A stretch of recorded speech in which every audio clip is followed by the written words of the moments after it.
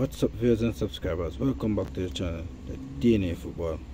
And today we're going to talk about Mason Greenwood and his saga with a potential loan swap move to Atalanta, that the club in Italy. And I will read a little article on what Manchester United have said about this potential swap loan move to Atalanta because people I wanted to give you a comment down below in the comment section and tell me what you think about this transfer that will be happening for Mason Greenwood. But on the other hand people I believe that Mason Greenwood don't stand a chance in the England colours at any time soon or in the Manchester United colours anytime soon because watch if they they want Mason Greenwood in the squad, they would have accepted him because remember he was going through a lot and he, he, he never got charged from the assault that he had been done on his girlfriend.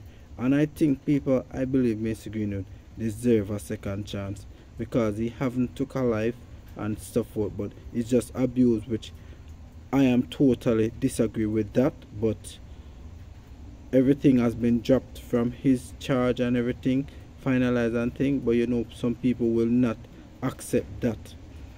But at this moment people I will give him a second chance and I think he should move on from Manchester United. What Manchester United are waiting on to sell the player to move on with his career. He's a pretty young player and he is have some brilliant performances in the Manchester United squad in the past but I think he should be moved on to a different club. But Manchester United not willing to sell him because they don't want to sell him. They want to keep him and they don't want to keep him in the side. Make up your mind, Manchester United. But on the other hand, people, he could be representing Jamaica if it possible, if he chooses to represent Jamaica, because he could be a good asset for Jamaica team but I think that he should come home. Come home makes agreement. Because at one point they will offer you. And you never accept it. But I think you don't know you, you don't stand a chance of capping in the England squad. No time at all. So you just need to look forward and look away from England. Because remember those people take this thing very serious assault and disadvantages. Those people take it very seriously. So i think you should just move on and continue with your career at a different club and come home to jamaica because we will do well with you and i know you as a young player and you will turn a brand new leaf in your career and in your life and i know you will do good so people are going to read the article. So United first team squad are said to have been slipped over Greenwood possible return to the club after the CPS dropped all criminal charges against him. One court of attempted rape, one court of controlling and coercive behavior, and one court of assaulting occasion actually body harm in February.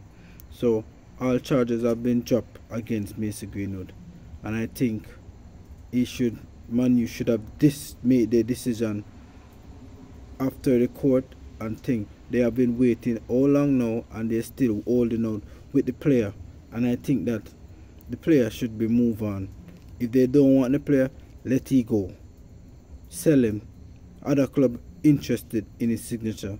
So money should just let the player go because many of the players that in Manchester United squad they not agree with the with, with the um the, the, situation that Greenwood had been facing. But I think that that is their opinion and their belief. So I don't have a problem with that. You understand people?